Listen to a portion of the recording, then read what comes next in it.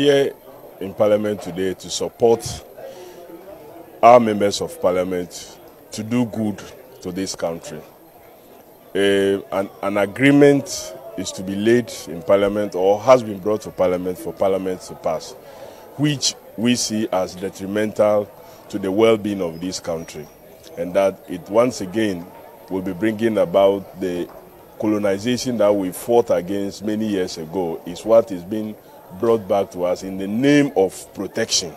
And we think that it is rubbish, it is unacceptable, and it is something the good people of this country must not support and are not supporting. And so the best we can do as a party is to be in parliament today to show support with our members. At least if the NPP majority decides to sell Ghana, Ghanaians will know that the NDC minority is opposed to selling Ghana. So let's talk about what had happened earlier. Um, now we'll look at it a little later, uh, what is happening in Parliament, because the initial report did not capture the views of the minority, and the Speaker has directed that that should that be done, and then that final report be brought to the House. Sure. Um, for you, what does that mean for the process? You see, they know very well that this is a bad agreement and this is a bad deal.